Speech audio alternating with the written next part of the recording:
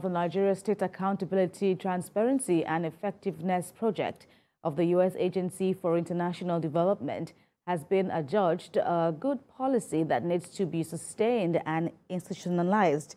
Now, this was part of the resolution of a panel discussion with implementing state governors at the Federal Policy Dialogue in Abuja. Moyo Thomas has more.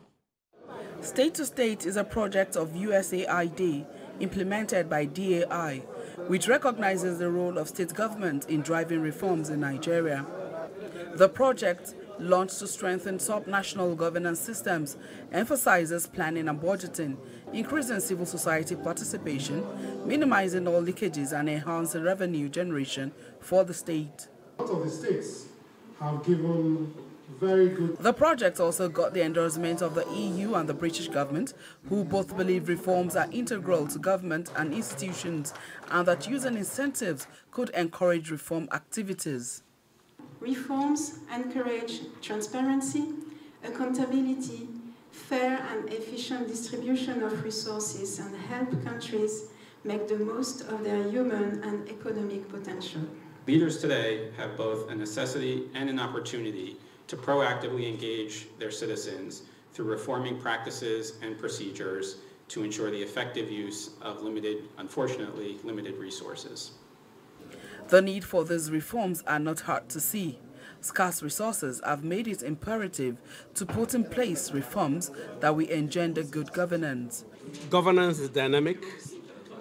Therefore, there is the need for review and reform of systems of governance, especially where you are talking about uh, uh, efforts aimed at uh, improving uh, on good governance, uh, like we're doing in Nigeria the reforms we've embarked on, in conjunction with the support that we've been getting from uh, development partners and uh, international organizations and civil society organizations, has helped us to restore good governance.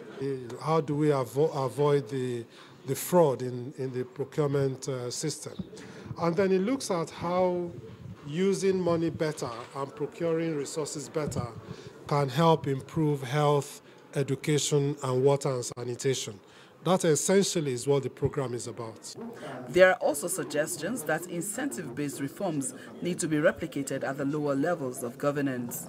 The need for accountability cannot be overemphasized as it is the basis for the people enjoying development and all other dividends of democracy.